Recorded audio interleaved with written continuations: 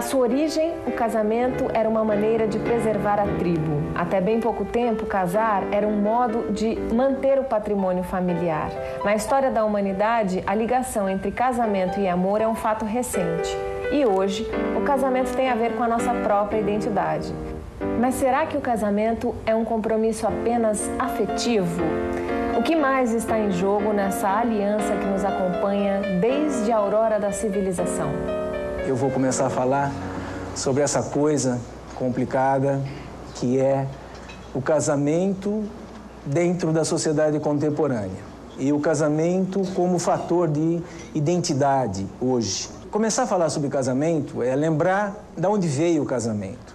O casamento veio como um fato uh, etnológico, um fato das etnias. Então, vamos lembrar dos primeiros seres que habitaram esse planeta e a, a sua dificuldade em subsistir, em sobreviver.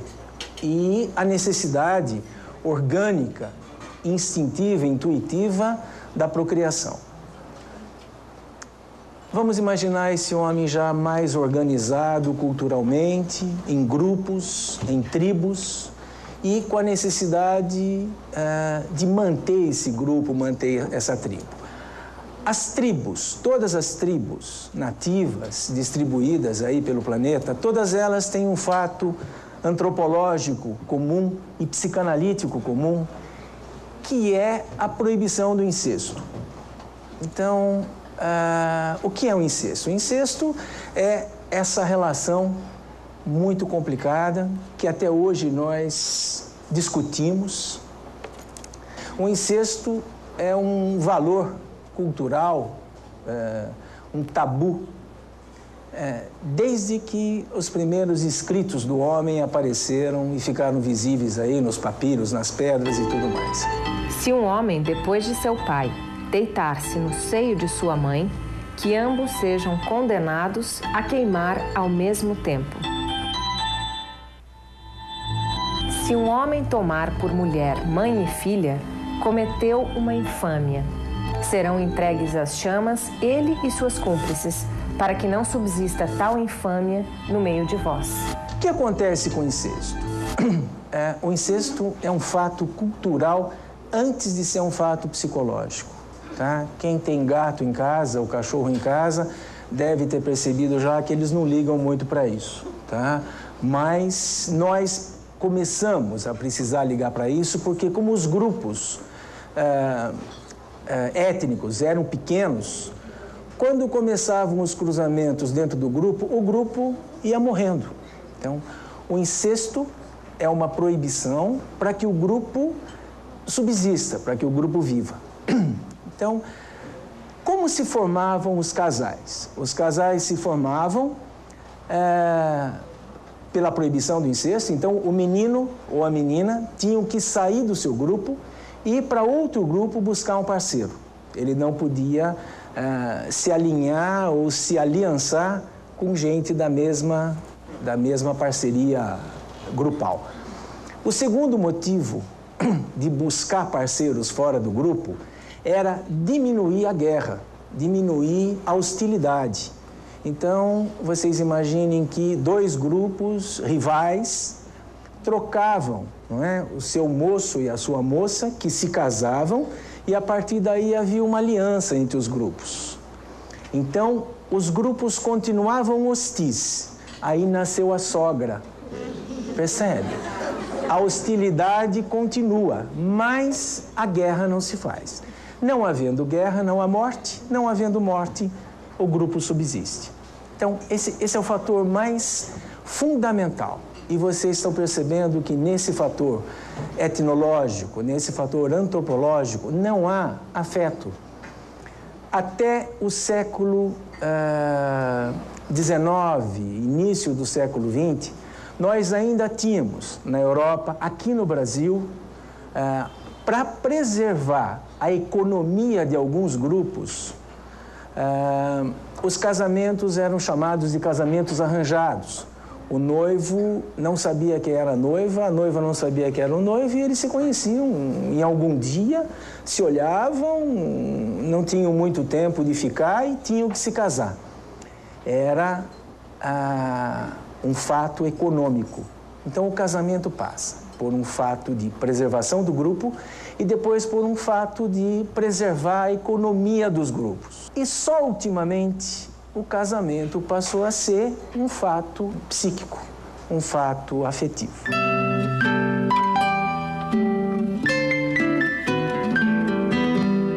Então vocês veem que a, a relação de casal, a, a ideia do casal, a existência de pares, ela nunca eh, começa ou, e não começou na história do homem como um fato afetivo.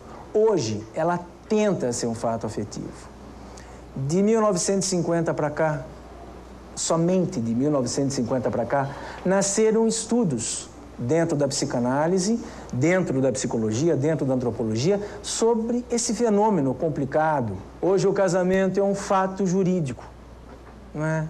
é ele, ele, ele era um fato só cultural, depois passou a ser um fato econômico, passou por uma fase pequena de ser um fato afetivo e agora é um fato jurídico, não é? Se a gente for ao fórum hoje, nós vamos ver um monte de famílias lá eh, casais brigando litigiosamente, de uma maneira muito severa, quando há um tempo atrás eles estavam namorando escondido dos pais que não queriam namoro, estavam brigando contra o mundo. Então, é, é uma instituição que não se fixou em nenhum é, sustentáculo, em nenhum alicerce. É uma instituição perdida o casamento não pertence mais ao social, não pertence ao cultural, não pertence ao afetivo e está pertencendo agora ao jurídico. E alguns estudiosos aí do casamento acham que ele vai se transformar logo, logo num fato perdido. E nós vamos voltar, talvez, a procriar mais por necessidade do que por uma uma vontade, um desejo. O casamento, como a gente conhece, né, com todas as suas nuances de, de, de social, de história e de afeto, ele começou a ser um fato jurídico exatamente pelo fato, pela ideia de que as pessoas se unem como uma sociedade não mais é, com o intuito de continuar, uma sociedade que dure enquanto dê certo.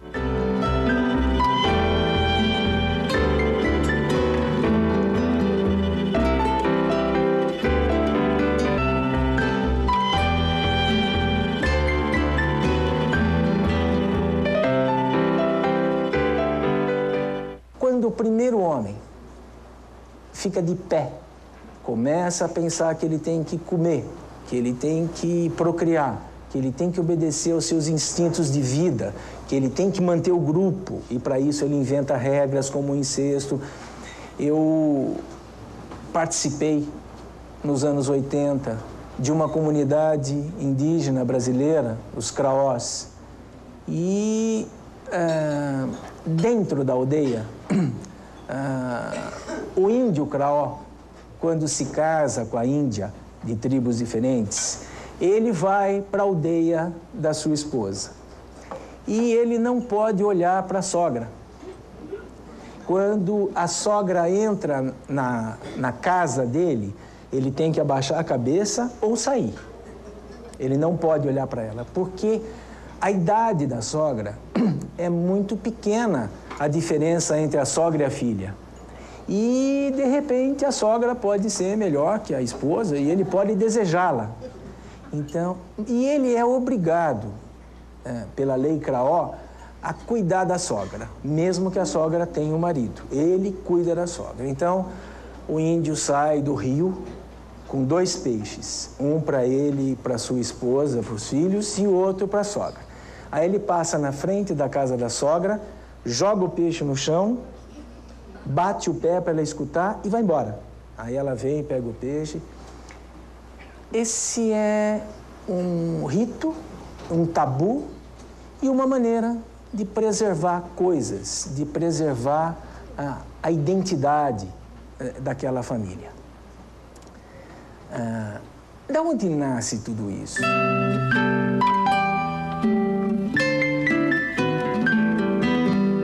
A base do ser humano, o fundamento do ser humano é uma coisa complicada que se chama angústia.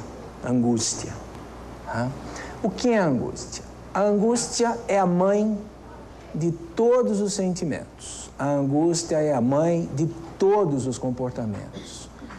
Lacan definia a angústia como a sensação de que me falta alguma coisa, que existe um objeto que está perdido e que eu não sei qual é.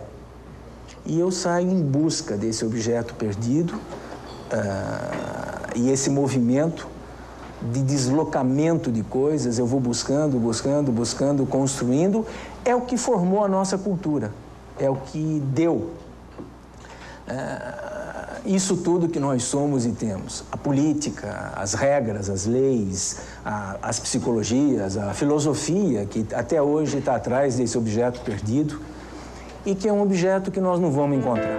O ser humano está sempre correndo atrás de algo que lhe falta. Segundo Freud, para preencher esse vazio primordial, o homem constrói a civilização. A angústia que nos move para a vida pode ser também a musa inspiradora dos artistas. Freud via na obra de Leonardo da Vinci, por exemplo, a sublimação de paixões sexuais. Desse ponto de vista, a arte tenta encontrar algo impossível de ser encontrado.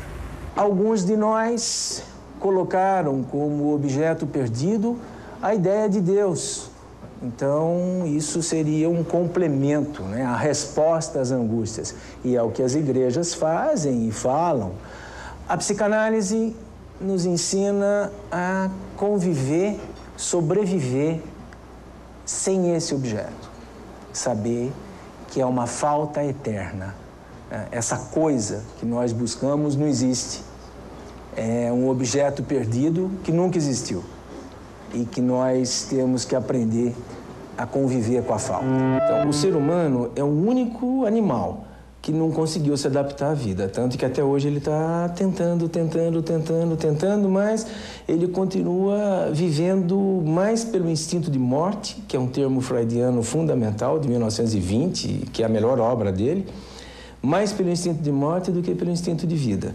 Então, o que acontece com o ser humano? Para escapar dessa agonia de não se adaptar à vida, ele vai criando maneiras de se ligar. Então, a, religião, né? religar-se. A psicanálise inclui a religião, a crença num Deus, a crença nos deuses, como uma maneira do ser humano diminuir esse, essa morbidez que é, é, ele pertencer a uma vida que ele não sabe por que ele está, para onde ele vai e o que ele tem que fazer.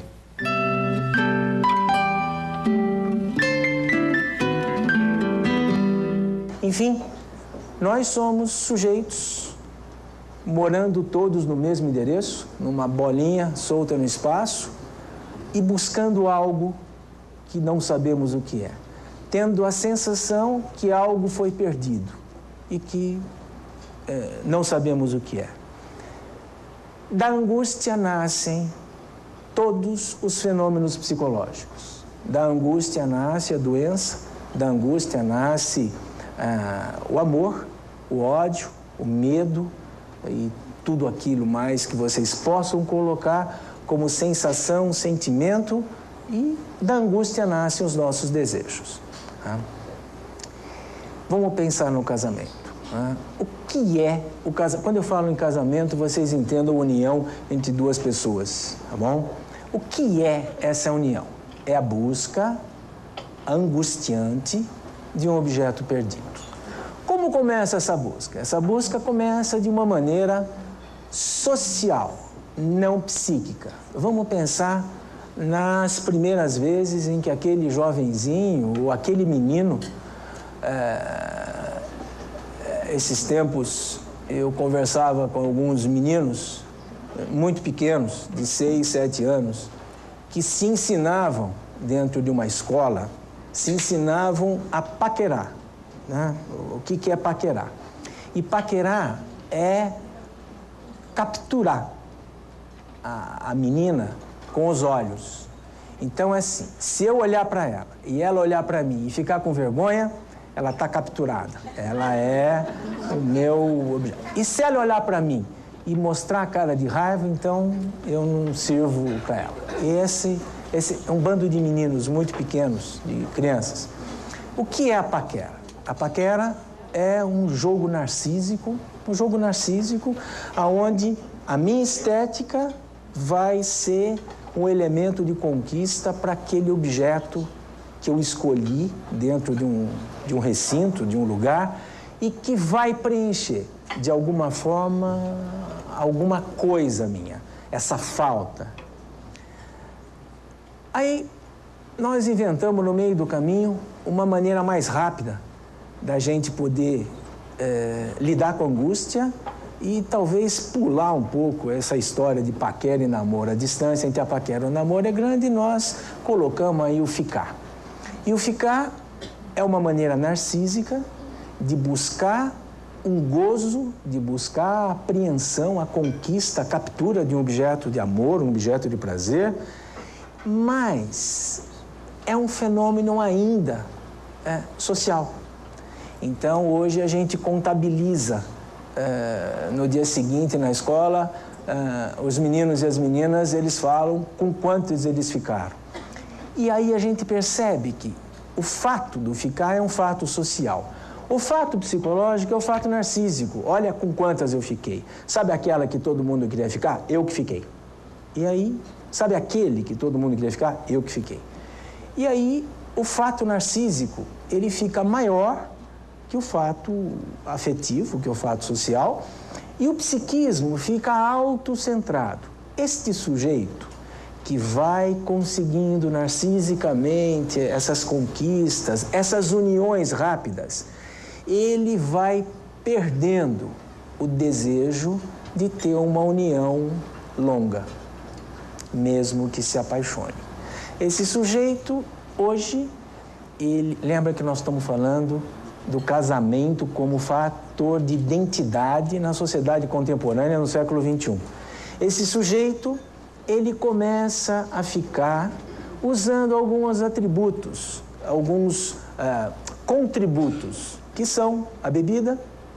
Às vezes, no dia seguinte, ele tem uma amnésia lacunar e ele sabe que ele ficou. É, não sabe direito com quem. E às vezes ele liga para o amigo e fala: Você estava lá ontem, né? Você lembra com quem que eu fiquei? Foi com uma menina. Ah, então já está, pelo menos já. Tá bom. E era bonita, era bonita. Então. E ele começa hoje Lembra que nós estamos falando de identidade. A se afastar do objeto psíquico, do objeto de busca, que é o objeto de amor. Então, hoje nós temos namoros apaixonantes, apaixonados, que quando isso começa a ficar a angústia de cada um começa a ir para o outro, alguém interrompe isso. É é, interrompe o fato psíquico, interrompe a, a coisa psíquica que vai fazer com que a união se faça. A angústia Será que não é só uma fase de época? Tem, eh, você falou várias possibilidades, mas em todas elas, no fundo, tem um pouquinho a raiz da angústia. Será que não, é, o, o pré-histórico ele tinha tanta angústia assim? A gente no futuro não tem uma esperança? Porque eu já tentei todas, né? Já casei, fui narcisista, fui escritora, física, em todas as opções tem angústia. Tem uma saída mais esperançosa, mais positiva, não tão deprimente? Você fez a mesma questão que um sujeito que alguns de nós aqui conhecem muito de perto por estudar e que é o Freud. Uma vez ele fez exatamente isso que você está fazendo.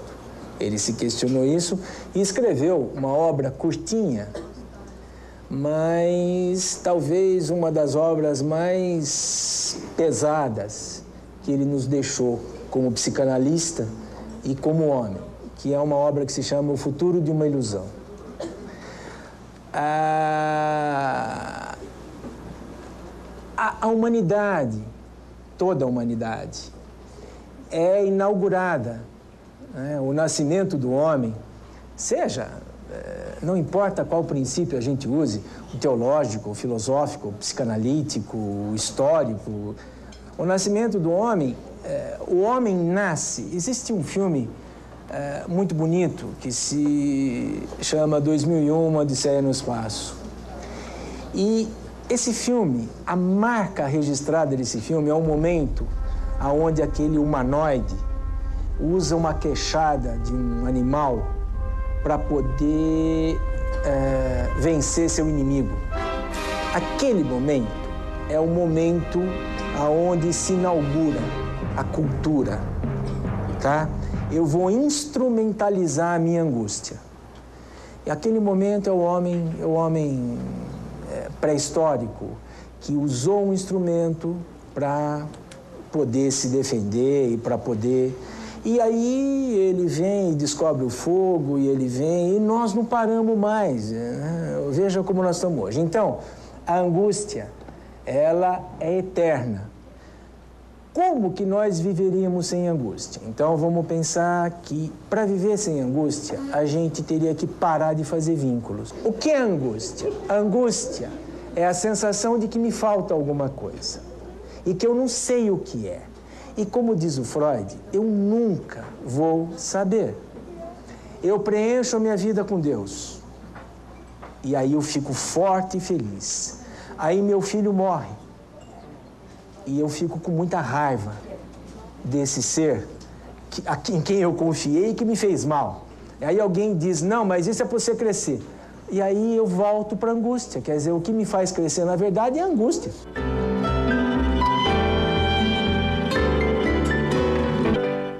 Casamento mexe com nossos afetos. Mas será que o único afeto envolvido numa união é o amor? Ou será que casamos no amor e na angústia? Para o psicanalista Ivan Capelato, a busca pelo outro é a busca para preencher o nosso vazio. E casar é unir-se nas angústias. Na psicologia, uh, o casamento tem uh, a, a, ideia da parceria, a ideia da constituição do casal, do par, uh, dos parceiros, é dada.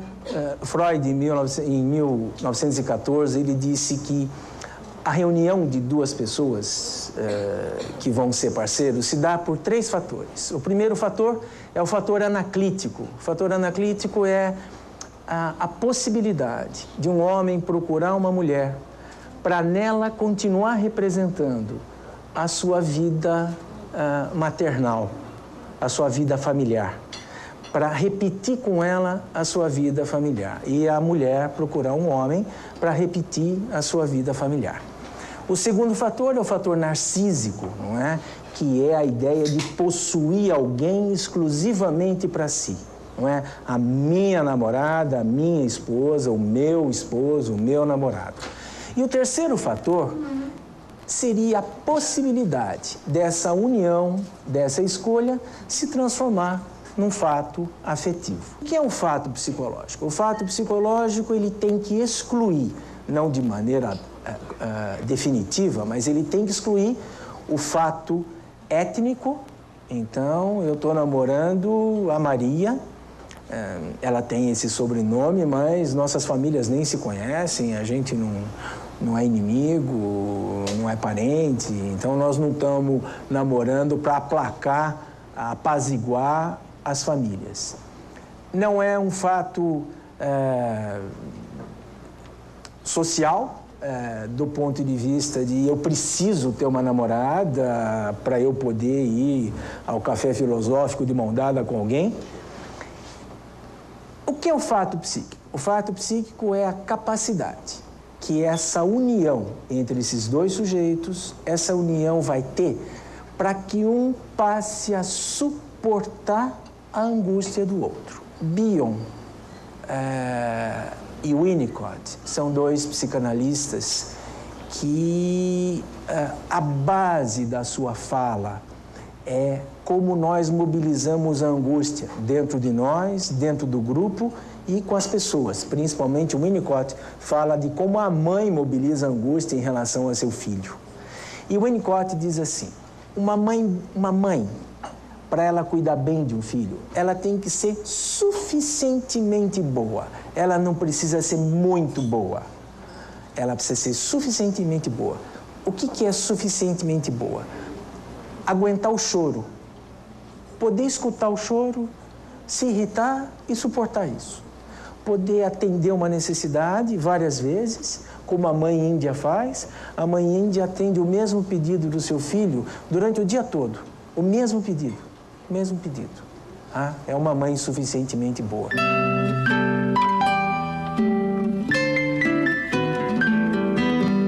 Vamos voltar ao casal. Ah, eles passaram da fase narcísica, já se conquistaram. Então hoje talvez eles não precisem se enfeitar tanto para ficar perto um do outro.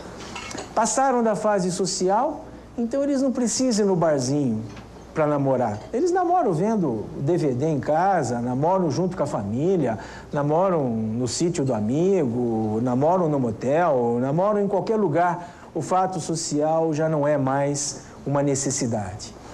E o fato psíquico? O fato psíquico funciona assim. Essa menina, ela tem uma mãe é, que ela acha que não gosta dela, uma mãe que ela briga todo dia. Ela está fazendo uma faculdade que ela descobriu que não gosta dessa faculdade, que são as buscas dela.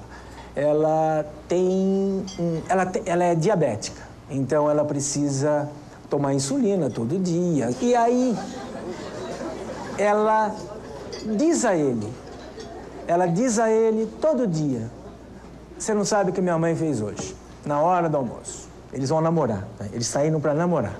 Eles estão indo para o motel. E do caminho de casa até o motel, ela fala da mãe, e aí ela fala do diabetes, que ela teve uma descompensação ontem porque ela tinha uma prova, dela ficou nervosa, comeu um bombom, e, e aí ele fala que o pai dele quase não emprestou o carro hoje, porque acha que ele está gastando muita gasolina, que o pai dele está proibindo ele de ter celular, o pai dele quer que ele vá trabalhar em vez de ficar só estudando, e eles vão indo para o motel. Quando chegam no motel, talvez ela não goste da cama, ela fala, puxa, mas esse quarto tá. Acho que já usaram lá esse lençol aqui, e aí, e eles. E daqui a pouco eles estão lá se beijando, transando, e talvez eles terminem de transar e liguem a TV e ela volte a falar da mãe dela. E diga a ele, você acha que eu falo para ela isso, isso, isso, tal, enquanto ela se limpa? Né? E aí eles voltam para casa, ele deixa ela na casa dela, talvez vá para a casa dele. E no dia seguinte eles se ligam, é, são carinhosos ao telefone, você está bem, tudo bom, e como é que está aí, abaixou hoje sua glicemia tal, lá, e aí ela fala de novo da mãe, e aí eles vão indo com angústias paralelas. Essa é a união. A gente se liga pelas angústias, que é a base da nossa vida. Essas angústias, como eu disse, a angústia é a mãe de todos os sentimentos, de todos os desejos. Essa angústia vai gerar amor. Ela me escuta, ela me entende, ela me dá a sua opinião, ele me escuta, ele me entende. Toda relação afetiva é uma necessidade para que um possa colocar no outro as suas angústias de sobrevivência mesmo, as angústias fundamentais de vida, as angústias do instinto. O amor é um termo que a gente inventa para poder justificar a união mas a escolha se dá exatamente é, pela forma, pela propriedade que o outro tem de receber a minha angústia, que seria a forma ideal de vida. Então, quando os parceiros podem um realmente suportar a angústia do outro, quando eles se conhecem o suficiente para saber que aquilo é angústia, aquilo que o outro está sentindo é angústia e não desamor, é angústia e não raiva, é angústia e não outro sentimento.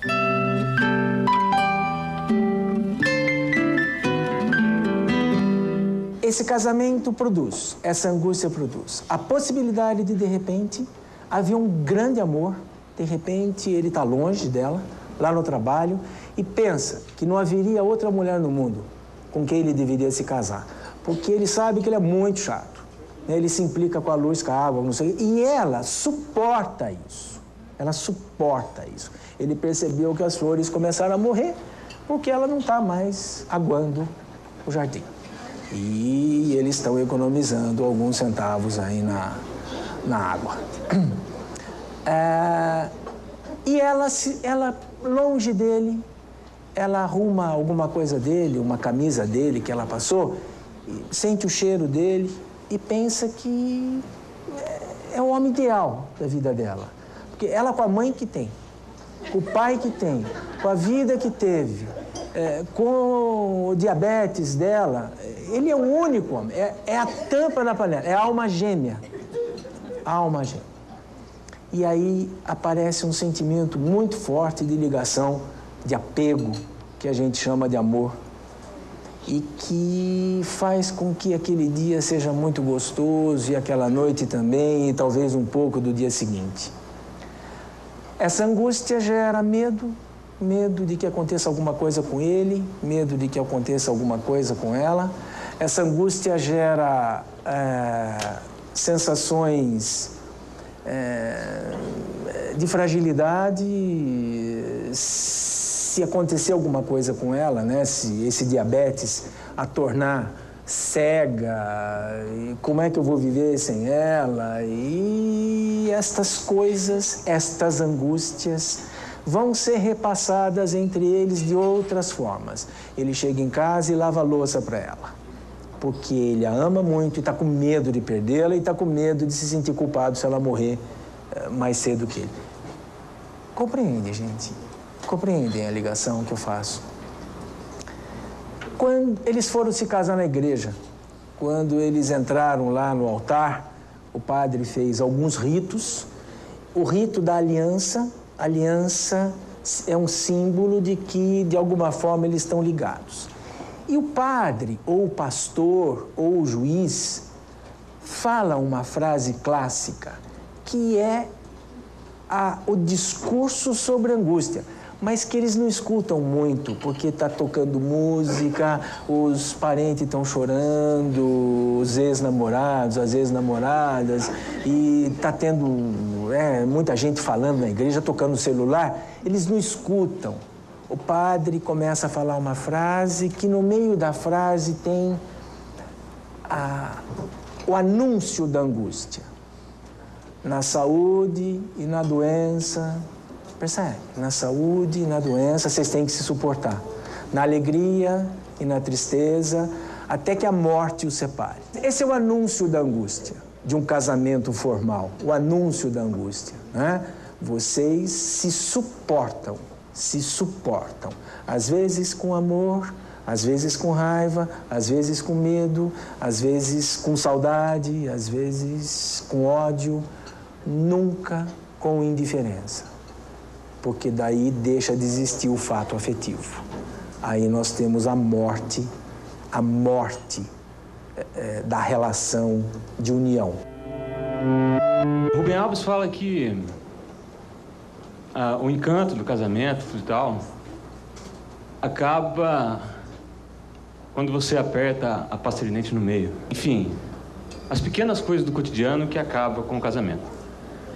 A pergunta que eu vou te fazer é assim: é, se você fosse padre, você trocaria é, até que a morte o separe para até que a casa o separe? Eu trocaria o jeito de fazer as coisas na nossa cultura. O encanto do casamento se quebra quando o narcisismo acaba. Percebe? Quando a onipotência acaba. Eu não consegui fazer meu marido parar de beber. Mas quem bebia não era meu marido, era meu namorado. Entende? Eu não consegui. E agora, veja bem, eu fiz uma escolha, que é esse pacote horrível de um sujeito que fuma, peida, bebe e joga no bingo. E antes, isso era uma gracinha. E hoje, eu não suporto isso. Então, essa diferença entre o narcísico e o real, o narcísico e o princípio de realidade, é que tem que ser dita para as pessoas. É possível sobreviver no casamento? É. Qual é a mágica? Saber que o outro é só um sujeito humano.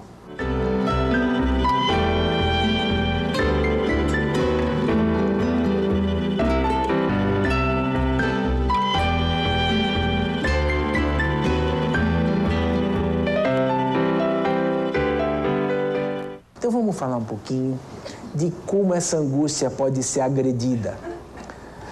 É, vamos lembrar que eles namoraram e ele bebia. Quando eles saíam, ele bebia bastante. Mas como a relação deles é narcísica, ela pensa que se ela ficar um tempo mais com ele, ela cura o alcoolismo dele. Né? Que é a ideia da onipotência do amor. Meu amor cura você, meu amor cura tudo.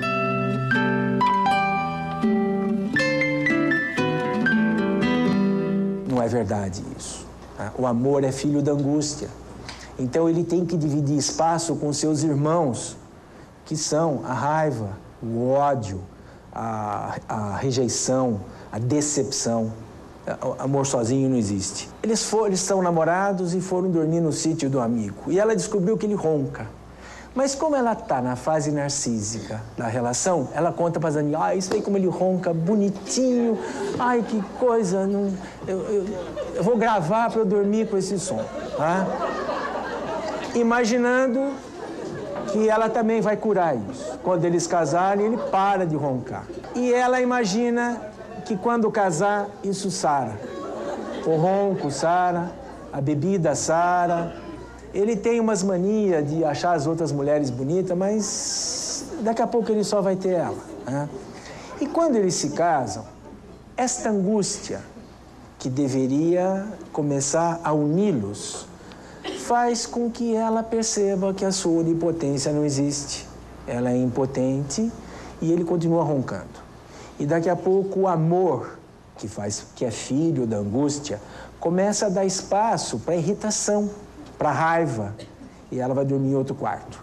E ele se sente extremamente ofendido, porque como é que ela pode não suportar o ronco, os gases ou o, o jeito dele dormir, porque foi assim que ela o conheceu.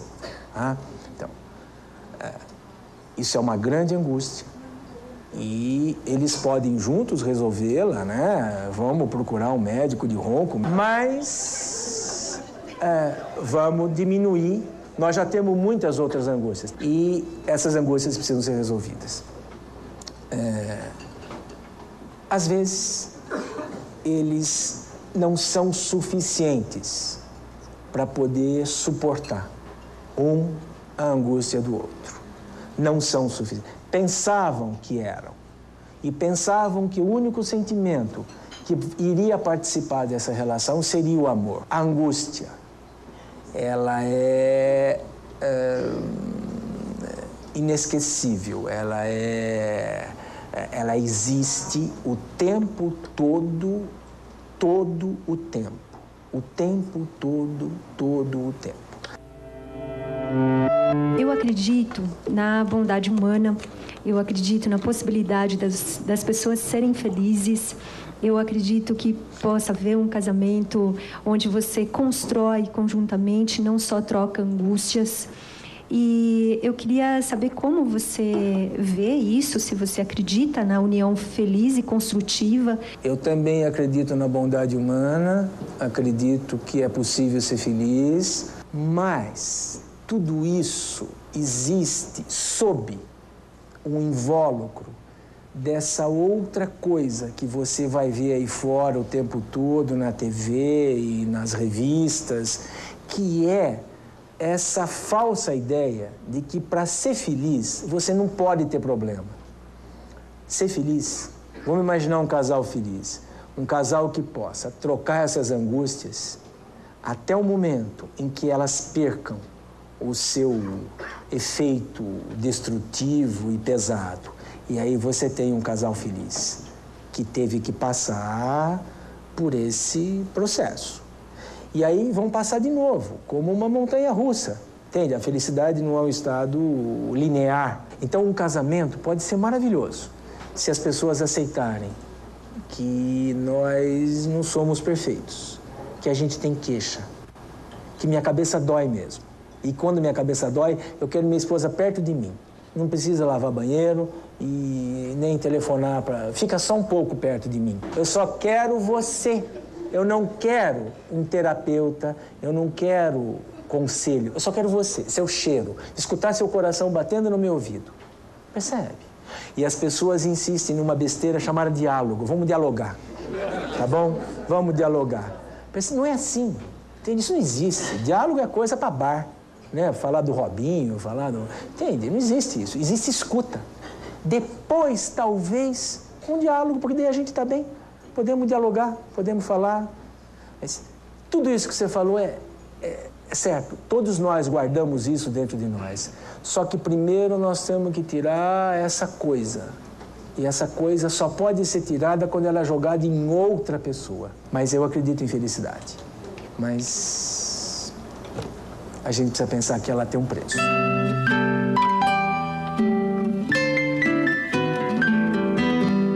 Há romantismo nisso? Há. Existe possibilidade do romântico na relação é, contínua, diária de dois seres? Existe. Que horas nasce o romântico? Quando a angústia foi colocada é, por completo. Tá? Então, hoje, é, esse casal Está na sala, está na cama, está no bar tá? e estão falando é, de coisas, trocando suas angústias. Se eles suportam fazer isso em qualquer lugar, os irmãos, os filhos da angústia, os irmãos da raiva, do medo, é, dão lugar a um sentimento gostoso, que é a oferta, que é o nascimento da, da coisa mais saudável, mais lúcida de uma união de duas pessoas, que é o cuidado. No cuidado não há angústia. O cuidado é só uma oferta. Então, de repente, esse marido uh, se levanta para cobrir os filhos, e aproveita e lembra que ela tem que tomar um remédio de manhã e vai buscar na cozinha com um copo d'água e de repente, depois de seis anos, manda uma dúzia de rosas para ela e hoje não é data de nada e sente muito prazer em fazer. Ela não está entendendo nada, mas ele sente muito prazer em fazer isso. Há mulheres que dizem: meu marido, se quiser pescar, pesque mas que limpe os peixes. Eu não. A qualquer hora da noite me levanto, ajudo a escamar, abrir, retalhar e salgar. É tão bom só a gente sozinhos na cozinha. De vez em quando os cotovelos se esbarram, ele fala coisas como: Este foi difícil, prateou no ar dando rabanadas e faz o gesto com a mão. O silêncio de quando nos vimos a primeira vez atravessa a cozinha como um rio profundo. Por fim, os peixes na travessa, vamos dormir. Coisas prateadas espocam. Somos noivo e noiva.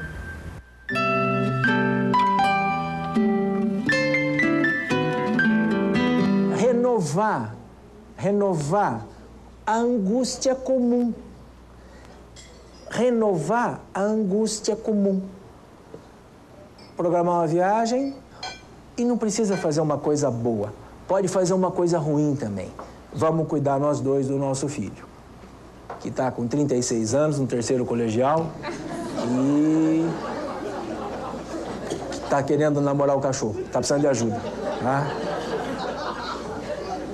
Vamos cuidar do nosso filho.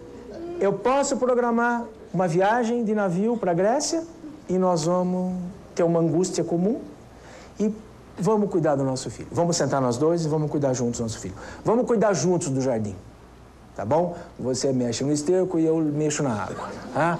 Vamos cuidar junto da casa. Vamos, vamos mudar o nosso quarto? Vamos. Então nós vamos trocar os, os é, criado-mudos. Tá? Vamos fazer alguma coisa comum.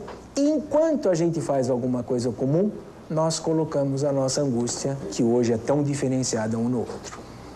Essa é a única possibilidade de uma relação de união existir. Toda parceria é de alguma forma um casamento. E o casamento em si é a parceria mais íntima que os seres podem ter. A mágica para que isso subsista é a possibilidade daquele que está um pouco mais forte poder ouvir a angústia do outro.